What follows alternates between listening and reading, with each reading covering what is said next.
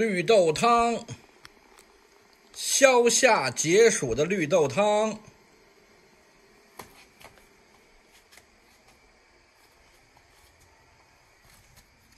哎呀，今天可能是二十三号吧，我都忘了，哈哈哈。七月二十三，哎呦呦呦呦，礼拜天啊，这个昨天二十二号，昨天啊，我们两口子逛街去了。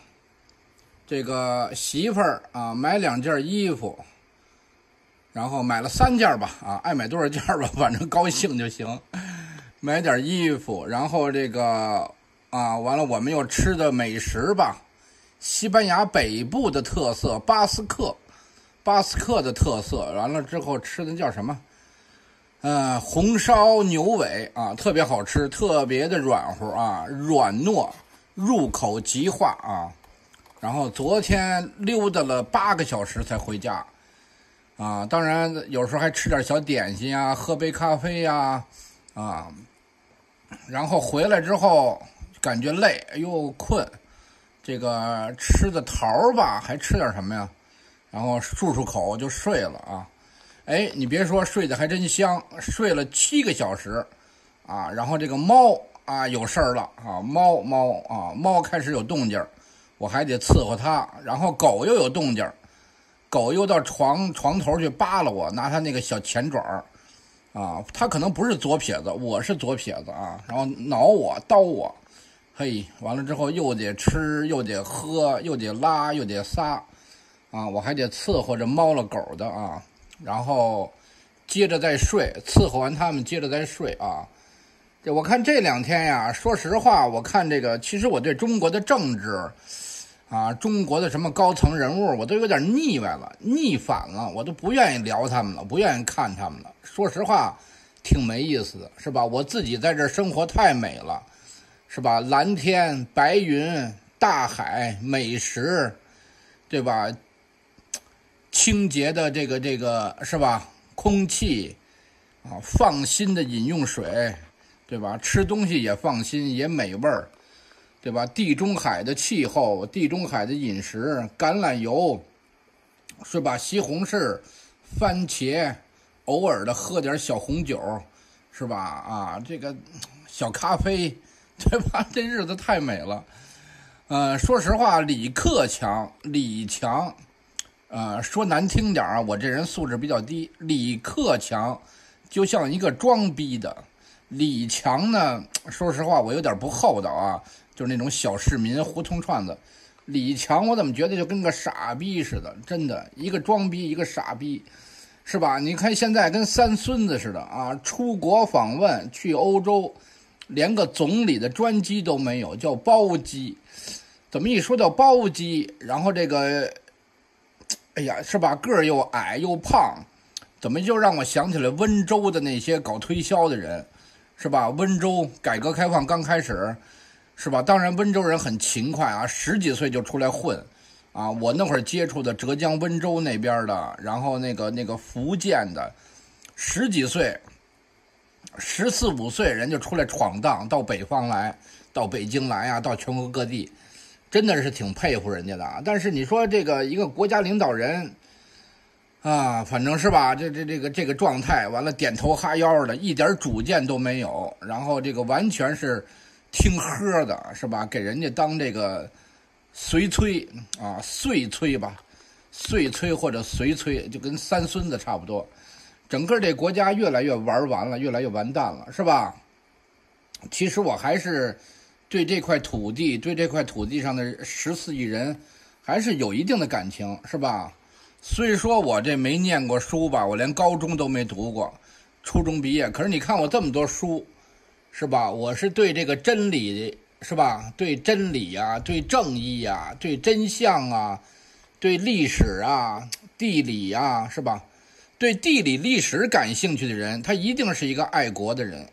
是吧？当然，我说的这个国可不代表某一个党派，是吧？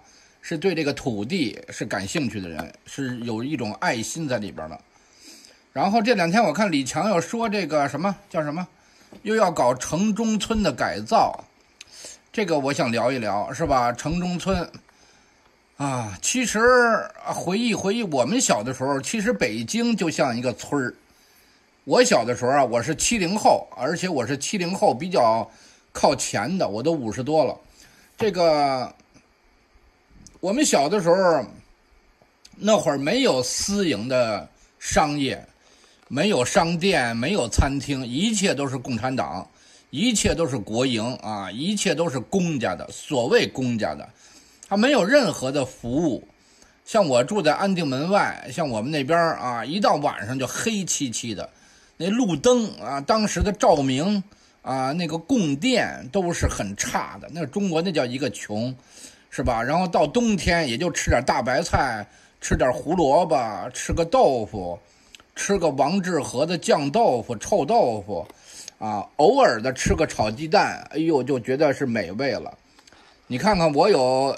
三个姐姐一个哥哥，哎，我们每个人的生活态度就不一样。比如说家里边炒一盘炒鸡蛋，可能三个五个炒鸡蛋，每个人就分一块儿，然后就着那个窝头。我倒是从小爱吃窝头，是吧？我不爱吃细粮，我爱吃粗粮。哎，然后有的人，比如说我的哥哥姐姐，或者其他的亲戚啊什么的，他们有的就把那个那个鸡蛋，一看见有鸡蛋，咔。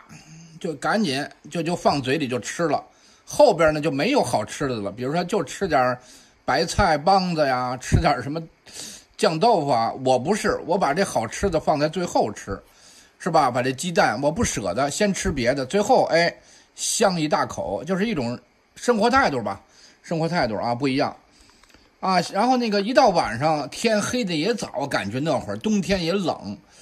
啊，然后就漆黑一片，街上有路灯，也是那个灯光是非常非常昏暗的，就是那个毛泽东时代那种物质匮乏。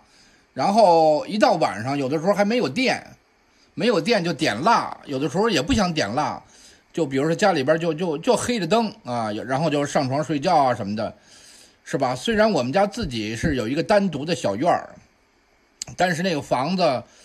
我记得七几年的时候，然后还是那个呃，是什么？我想想，是稻草啊，就是分了好几层我们家那个床两三层吧，好像家里边孩子也多，然后我就睡在最下边，是稻草的啊。然后当然是比较干净的稻草，倒是没有什么虱子呀、什么臭虫啊，倒没有那些东西，还是比较干净的。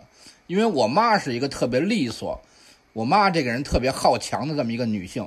虽然她的知识啊什么的上学呀不是特别的多，但是是非常的那种有那种上进心，咬着牙的活着，就非常的努力，非常勤劳的。所以我们家状况还是不错，比那些大杂院的什么的邻居要稍稍好一点啊。然后街上暴土扬长的，暴土扬长的有土。我记得我上初中了吧，就是八几年，然后在那个公交车，我在安定门内。啊，上学啊，最早在那个东单那边上学，后来太远了，转学。反正一下车，我们那会儿穿布鞋，就是一层土。其实北京在我印象中啊，因为每一个人生活的地域不一样，在我印象中，每个人经历不一样。就是北京真正走向城市化，还就是从一九九零年的北京亚运会，啊，办亚运会之前，嗯，我忘了是哪年了。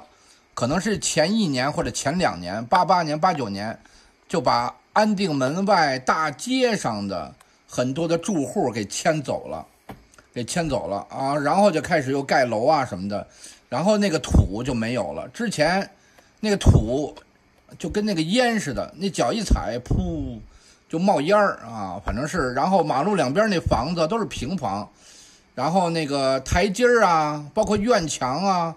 甚至包括房子呀，它都是那种叫什么？都是那种砖头垒的那种碎砖头。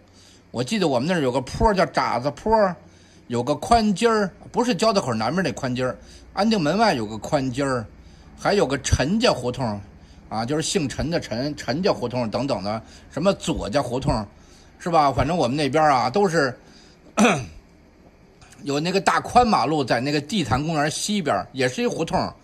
然后胡同，然后两侧有坡有那么三四米、四五米的坡坡上面还有好多人家儿，啊，我记得那会儿啊，我们跟那玩啊什么的。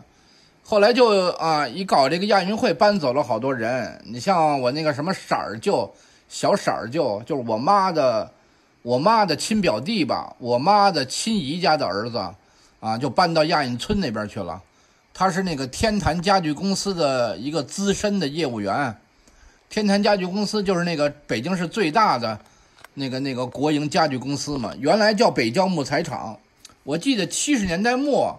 或者八十年代初，北郊木材厂就离我们家北边三四百米，有一个存大木头的一个一个露天仓库，发生了火灾。哎呦，那个火那叫一个大呀，着大火呀！然后那个我们还都去看热闹，然后就往那方向走，到不了火场，就那个火呀，就烤的我们那脸都疼啊，脸都生疼啊，就不能再往前走了。那大火把那木头烧毁了好多呀，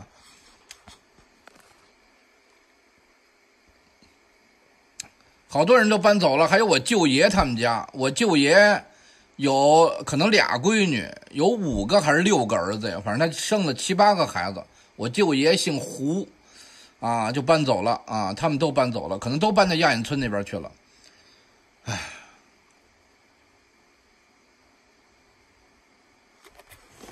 喝口水，喝点这个绿豆汤。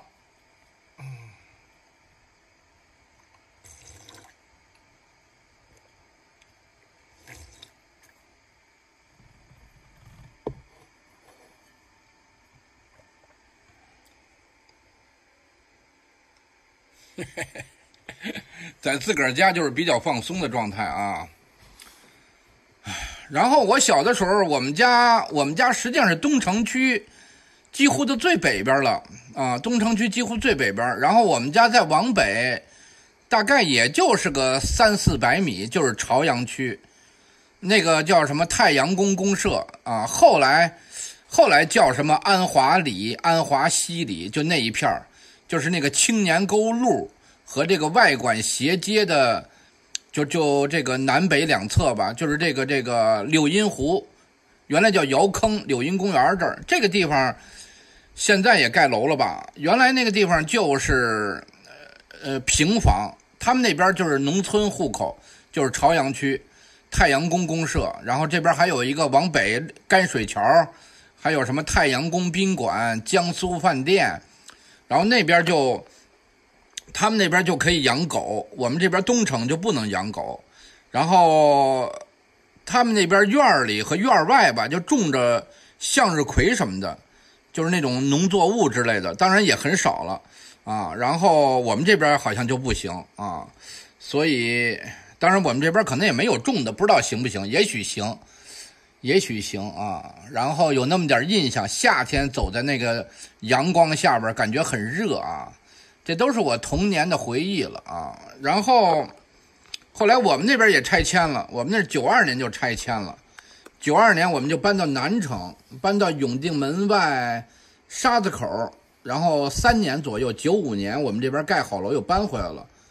然后就我老去太阳宫，因为我是做粮油批发嘛。太阳宫就在北三环边上，农贸市场、批发市场去那儿拉货，周围都是村儿。那村叫什么十字口村叫什么村后来他们那儿也拆迁了，那个农贸市场也没了。后来叫什么红喜台呀，叫什么什么？还有一个这个小区，还是卖的挺贵的。还有什么人民大学的朝阳区的分校什么的，还有中国海海洋石油中海油的一个大厦什么的，盖了好多。啊，当然再往北到北四环就是什么芍药居呀，那都是过去都是农村。就北京这种摊大饼式的这种的，这种的发展啊，一波又一波的啊，然后就跟那个水上扔一个砖头，那涟漪呀往外漾啊啊，不断的往外漾，往外漾啊。然后那会儿太阳宫，后来那拆了，我就去那哪儿拉货了，又去那个青年沟路，就在东四环外、东五环内青年沟。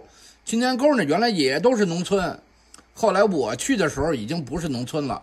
是盖了好多仓库区，我那会儿到潮批，北京市最大的国营的这个副食品批发，潮批在那有库房，还有其他人，那大库房特别大，特别高啊，那都是仓库区。还有北京市机电公司的仓库区，像我们有的街坊什么的，我们家隔壁，啊，那家姓陈的，他们家也也在那上班啊。那会儿那那边那个都是就已经是臭水沟了，然后有一些那个仓库区，有一些破平房。其实真正的农民那会儿已经他们就也不种地了，反正你要说他也不是工人，他也不是机关干部，他也不种地，就靠着家里边的房子。出租一些房子为生了，就是北京话，这叫吃瓦片儿的啊，这个啊就那样。后来那边盖上楼了，什么青年城啊，叫什么东西啊？我有的邻居，对安外大街的那个地坛体育馆的南边那一条线上的，有些他们那儿搬走了，原来好像也是楼房，后来又说是什么危旧房，也给他们拆了。还有安外大街的，像我那个什么长府旧啊。可能叫长福舅啊，长福舅，啊，很多那个像我们那个河北的白洋淀的老乡，原来都是到北京来谋生的。一九三零年代、一九四零年代到北京来谋生的那些人啊，当然他们都算北京人，都是北京户口，然后也都搬走了。啊，我那长府舅也都不在了啊，包括他那老妈，包括他那妹妹妞子姨，一百九十五中的老师。还那会儿，我表弟从湖北十堰过来，还是在他的班里边，他当班主任给安排的。然后常府就仨儿子吧，那个老大叫小梁子，小梁子后来是承包那个那个保利，就是做军火那个保利大厦东四十条那儿的歌厅，二楼那歌厅啊，这些人现在都见不着了。啊，我妈还跟他们原来有联系啊，然后那个叫大贤姨吧，就是常府舅的老婆。我们叫大贤姨，那跟我妈都论姐们儿。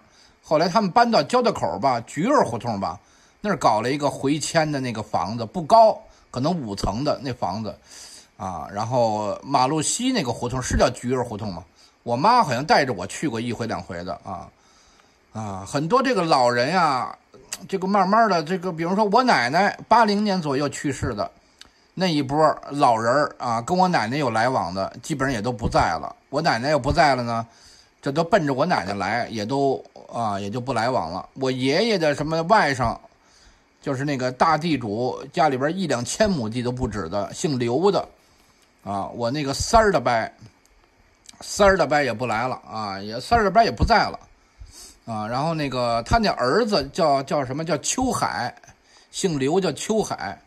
后来我做粮油批发的时候啊，他还到我这儿来过，还聊了聊，然后这个这个留了个名片吧，不知道那名片还有没有了，很多年不联系了。秋海啊，这个我们都知道是这个表亲，但是也都没来往了，也都不联系了啊。一表三不亲呀，一辈儿亲，二辈儿表，三辈儿四辈儿就拉倒啊。我奶奶活着的时候，我们家的人缘是最好的。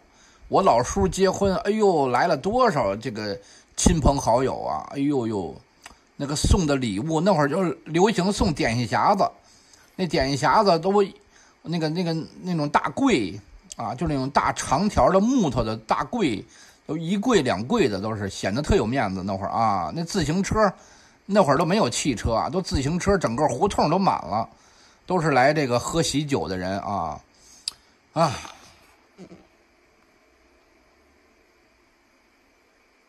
好多还有个词儿叫蚁族，蚁蚂蚁的蚁，很多人就是穷吧，没钱，就住在那个唐家岭，就是海淀，都北五环外那个那个上地那边，上地北边有个村叫唐家岭啊，那个地儿再往北就是北清路、北京航天城，那个总装备部、国防科工委、第二炮兵，很多军队都在那儿。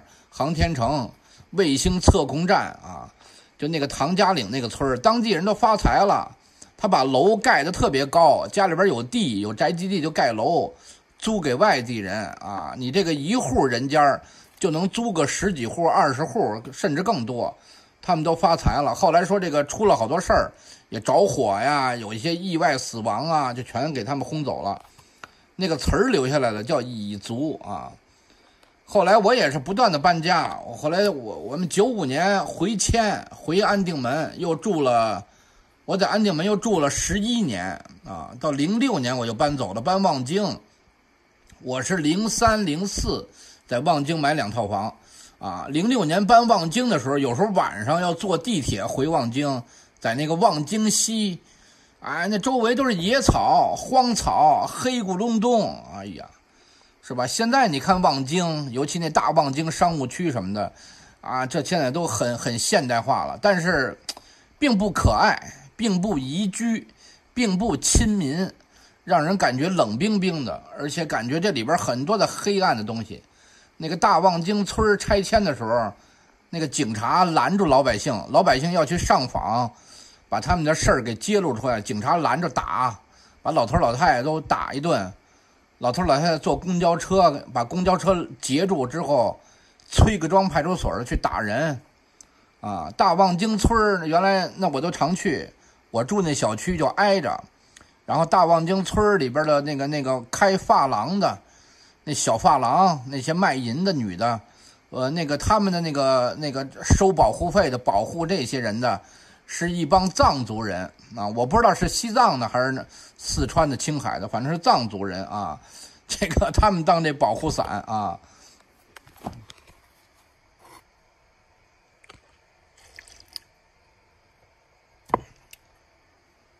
望京啊，怎么得名的呀？大望京村、小望京村，还有个望京台。我有个小学同学姓李，原来就住在那个小望京村就住那村里啊。我还去看他，一九八九年春天吧，好像六四还没开枪之前，我去看他，然后他爸还留我，那个在他们家那吃点饭，晚饭喝点酒啊，喝一杯酒。小孩那会儿也不是说喝大酒啊。这个，因为他爸他妈原来都住安定门，都住安外那个西营房，住西营房的那个那个简易楼啊。后来他们又搬到小望京村可能是他妈的娘家吧。那村他们家有单独有个小院儿，我记得院里还有棵枣树。后来就那个年代也没有什么电话什么的，后来就没有联系跟这同学。但是后来我搬到望京之后，我就不断的打听这同学。啊，我说这小望京村拆迁，他们那村都拆了。那会儿大望京没拆，先拆的小望京。后来他们说他搬走了，搬哪儿也不知道。我也是打听陌生人，向街上遛弯的人打听。哎，后来大概在零九年左右，那个望京那南湖中园还是叫南湖东园啊？那儿有一个叫金客隆，大金客隆，有大金客隆、小金客隆。我到那个超市去买东西。哎，我看见来了一哥们儿，慢慢腾腾，慢慢腾腾，啊，从外边那个那个那个那个叫什么呀？不叫台阶儿吧，也不叫楼梯，反正就走上来了，就那种斜的那种，哎，就这样，哎，这个这个坡度非常小的那个水泥的小坡，那坡道上，哎，走上来了。我一看，这不是我们的同学吗？哎，这赶紧过去打招呼，哎，我们哥俩又联系上了。小的时候我们就挺好，这关系都住得近啊。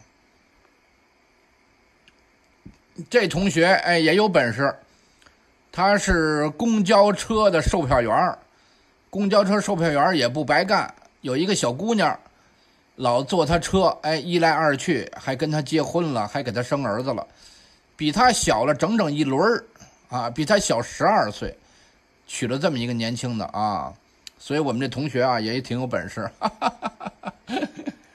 现在他那儿子也都上班喽，挺好，是吧？所以这个城市化越来越那个啥，是吧？不断的往外扩展啊，不断的扩展。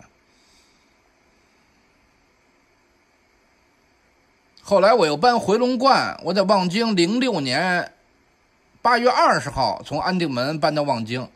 住到了一二年的一二年的七月十一号，啊，差一个月零九天，不到六年，我又搬到回龙观去了。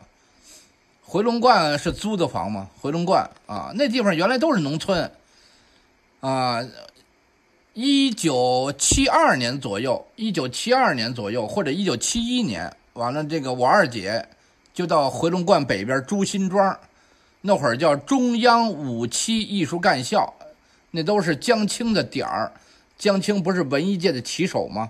那就是中央音乐学院的前身。我二姐八岁左右被挑上了，就到那儿住校去了。那会儿那全是农村，那会儿有一回我们那个邻居叫七叔，我们管他叫七叔，他姓夏，还有我爸。那会儿我那会儿我爸还正年轻力壮呢，现在我爸都变成一股灰了，都死了十年了啊。然后那个就那个蹬着一三轮，带着我们几个小孩去看我姐去，路上还下雨了。这个大人们还把那个雨布、雨衣吧，雨衣给我们几个小孩盖在身上，他们淋着雨啊，去那回龙观北，那会儿都是农村啊，朱辛庄啊。后来我住在那个，我一二年住回龙观的时候，回龙观都盖成楼了。原来九几年的时候吧，九七年左右，我一哥们儿跟我特别好一哥们儿，他们家原来住新街口外小西天儿。搬去的时候，他们那小区叫什么小区？我我还是别说名字了。那个小区原来他们周围都是庄稼地呀，后来都盖满楼了。不过回龙观有个好处，那儿的房子都比较矮，有点像天通苑，不是那种摩天楼啊。后来盖了少量的十几层以上的，都是五层啊、六层啊这种比较矮的，所以看起来那种压迫感还是少一点，还是比较舒服的。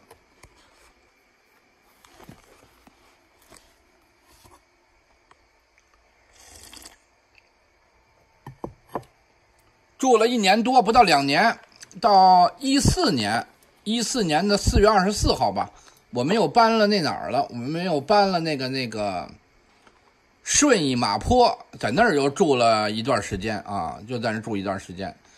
那边也盖楼了，马坡那边都是楼了，但是北边还有一些村儿，什么东风乐呀、西风乐呀，西边有什么秦武窑啊。西北有什么京圈啊？当然，更往北的话是什么牛栏山呀，是吧？也还有一些村儿。当然，牛栏山那边也盖楼了，是吧？就是到处都在盖楼。那边还有一个什么乔波滑雪馆，有一个东北的吧，一个运动员，吉林的吧，叫叶乔波，搞了个滑雪馆。还有什么牛栏山的什么，是吧？卖牛栏山二锅头的那厂子也在那儿。反正不断的盖楼，到处在盖楼啊！整个中国吧，也不光是这个北京啊，连我们老家，我妈的老家河北任丘，包括我爸的老家河北文安啊，有的村里边都搞房地产开发了。像我老舅，我老舅是在北京混了一些年，后来公私合营，他的那个那个叫什么？木材厂吧被剥夺了啊！当然不是被剥夺的，不是他一个人，很多人都被剥夺了。后来我老舅就去了内蒙古包头那边，什么乌拉特旗吧、乌拉特前旗吧。后来又去的湖北十堰，岁数大了想叶落归根啊！我妈的老家狗各庄大狗各庄，哎，那个村儿也盖楼了，在村的西边也盖了几栋楼。哎，我老舅和我老劲儿，老劲儿就叫劲子。就是舅妈啊，也回那儿住去了，到处连农村也盖楼啊，可能是小产权吧，具体的我也不清楚啊。狗各庄就是杨七良的老家啊，杨七良的儿女亲家就是秦丽珍啊。这两天传说说秦刚是他们家的人，但是这个秦丽珍的大儿子吧，不知道是不是大儿子秦小英。还是中央外宣办啊，外宣办就是这些五毛吧，都归他们管吧。外宣办的办公室的副主任，如果是外宣办的副主任，就是副部级；如果是外宣办的中共中央对外宣传办公室，啊，外宣办的然后办公室主任，那就是一个副局级办公室副主任。外宣办我不知道跟这个国新办是不是一码事儿，我感觉是一码事儿。国务院新闻办啊。我住回龙观的时候，对门就是这个国务院新闻办的一小子，一个一个贵州的，停车都不会停，一辆车占两个车的位置。我还到他们家敲门去跟他交涉，我告诉他，我说你不能这么停车。当然他对我很客气，我对他也很客气，但实际上是没素质了。他老婆是一个山东枣庄的还是临沂的，他老婆是百度公司的，他在国新办。啊，国新办可能也叫外宣办，好多机构，你看什么什么网信办，是吧？这不是也是干这个的吗？查你啊，是吧？看你网上说什么了，管你。把你的嘴堵住，不让你说话，是吧？把你的眼睛封上，不让你看东西。这中国人这不是越来越傻吗？对吧？咱们再说这个搞这些东西，搞这个这个，像李强说搞这城中村改造，哎呀，很多城市改造城中村都杀人了。像那个张家口不是张家口，石家庄的有一哥们儿，就是城中村改造，村长能捞好多钱，他把村长用一个射钉枪吧，给杀了吧。还有河南郑州的城中村改造，好多这种大城市的改造，尤其大城市，它会由中间有很多这个这些官儿能捞着钱，是吧？然后而且比如说你搞这个三通一平啊。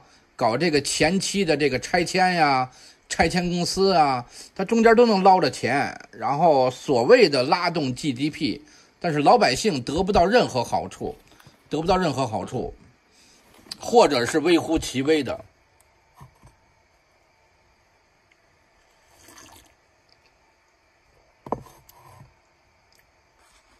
胡振华这个人，这是一个回民，回民。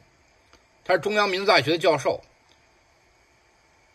那个新疆有一个民族叫柯尔克孜，国外叫吉尔吉斯。那个语言在中国这边的语言，那个文字那些字母是他给创造出来的。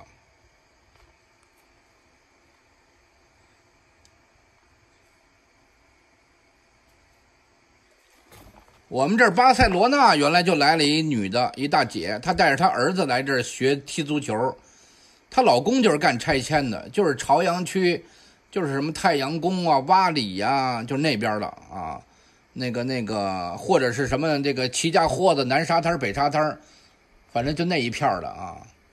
其实过去他们说话那个那个他们的朝阳区那边的方言跟我们都不一样，他们那会儿都算城外了，那会儿他们都是农村的啊。真正的北京城里的就是东城、西城、崇文、宣武。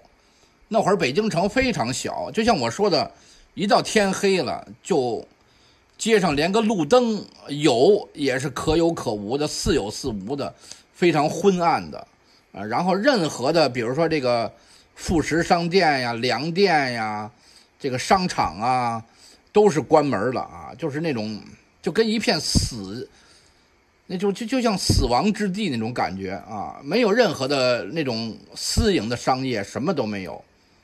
特别的让人感觉到压抑、郁闷，然后物质是极端匮乏的。这个一尊，他的小时候也是跟我一样的，当然他比我还要年长将近二十岁。他那个年代中国更穷，是吧？其实按照他的想法，我他妈过穷日子，你们丫的也别过好日子，是吧？让你们都穷，你们都穷了。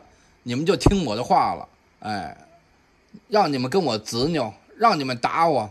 小时候受了多少的委屈，被薄熙来他们欺负，骂他打他，是吧？他还进过少管所，是吧？然后被他妈还举报，所以不是说了吗？啊，他一个人的童年的创伤，要全体十几亿人来帮他来给他治病，帮他承担，是吧？中国这文化也很病态。他不会有这种宽恕啊，这种基督啊，什么以德报怨呀？你别看那蒋委员长，二战胜利之后对日本的战俘还是不错的，以德报怨，是吧？共产党的文化里边，共产主义、苏联的这种体制里边都是仇恨，啊，他没有宽恕，没有一种大爱、大慈大悲、大仁大爱都没有，非常的冷酷。其实也很落后落伍，说难听点非常的他妈的操蛋，非常的差劲，反正不咋地，让我感觉不到任何的温暖温馨啊，这种吸引力对我完全没有。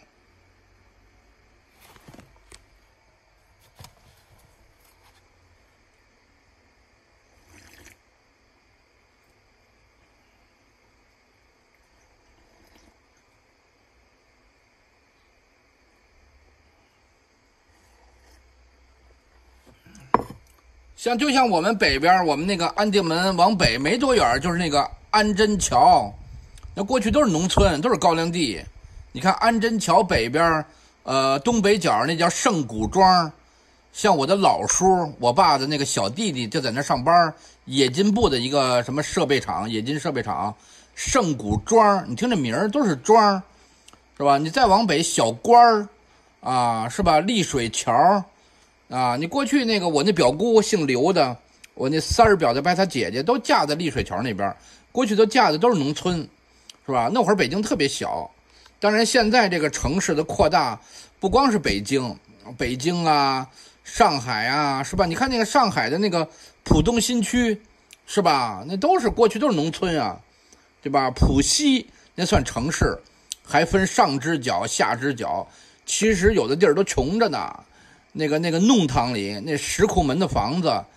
是吧？有的家里边就拉个帘儿，就上厕所，早上起来去把那个屎啊、尿啊，到外边给倒掉，对吧？有的时候说家里来人了，拉个帘儿啊，这边上着厕所，拉个帘儿就跟你还说着话呢，就那样，是吧？那个住房条件是很差的，是吧？其实也得承认住房是改善了的，是吧？像我是九三年，一九九三年，呃，大概是。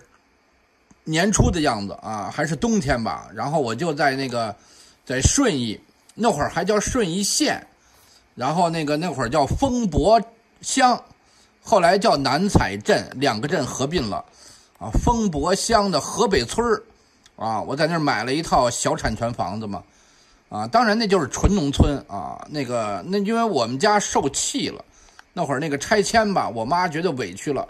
完了，给的房子认为给的少，实际上给的并不少，啊，你看跟谁比啊？然后就觉得委屈，我说不然就买一套吧。那会儿我也挣了点钱，然后便宜，才八百五吧一平米，八百多，买了一个一百四十多平的三居室，二层。我买的是在二楼的，我记得是朝东的，它一层是两户，一东西两户，我在东边。啊，总房款花了十一万多吧买的，啊，那会儿顺义，去顺义还要坐长途车，感觉很遥远的。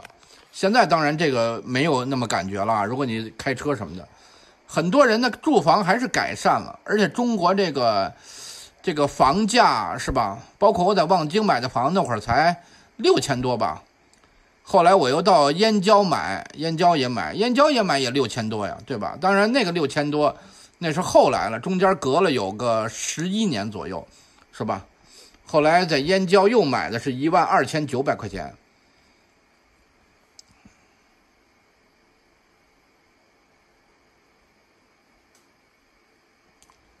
在中国的问题太多了，是吧？首先政治上你不敢说话，你跟这个中国的党和政府你稍微有点不一样，你可能就给你关监狱了，是吧？给你弄得你家破人亡。对吧？我那会儿还谈不上反对共产党，我就是搞维权，那那个警察都不依不饶的，对吧？零八年、零九年，到二零一一年十一月十五号，我到凤凰卫视接受那个也不叫接受吧，就参加节目录制，啊，那警察给我打电话，我没接，就是望京的警察，哎，还就跑到我们家去了，一个姓张的一个片警。去，然后我媳妇儿一敲门，我媳妇儿开门，说什么事儿啊？没什么事儿，啊，看看你们家有什么需要帮忙的没有？哦